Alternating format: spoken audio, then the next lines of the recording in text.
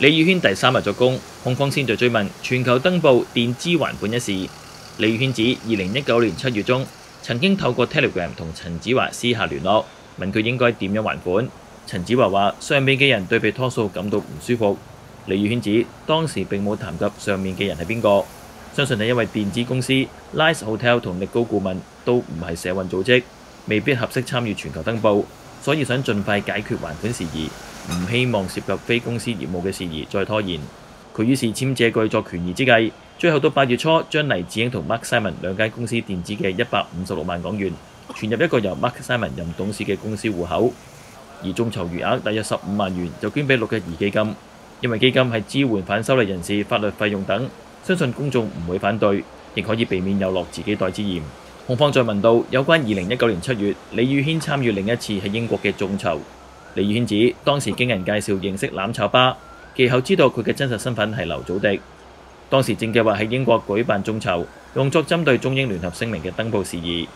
李宇軒亦述，當時有人認為 G 二十全球登報眾籌算係幾成功，所以介紹佢哋認識。由於李宇軒曾經喺 GoGet Funding 平台辦過眾籌活動，劉祖迪希望李宇軒喺眾籌運作上提供相關協助。但由於今次嘅活動以籌集英鎊為目標，加上 GoGet Funding 嘅手續費高。於是改喺另一個平台 GoFundMe 作眾籌。李宇軒本來打算同上次一樣，以佢嘅香港銀行戶口收款，但平台表明，如果以英鎊結算，就必須存入英國當地嘅銀行戶口。佢於是透過 Telegram 輾轉認識咗英國人 Jack h e i s w o o d 願意借出英國銀行戶口作眾籌結算之用。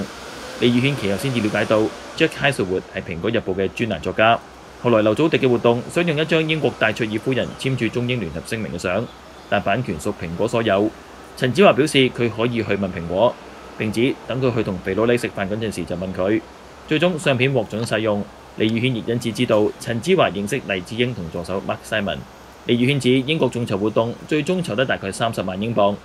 款項最終喺二零一九年八月由 Jack Hislewood 嘅眾籌收款戶口存入到佢個人戶口作管理，用作登報等嘅開支，並由佢先行墊資登報費用。控方根據帳戶記錄確認英國登報活動大約用咗十萬英鎊。問餘下嘅二十萬鎊點樣處理？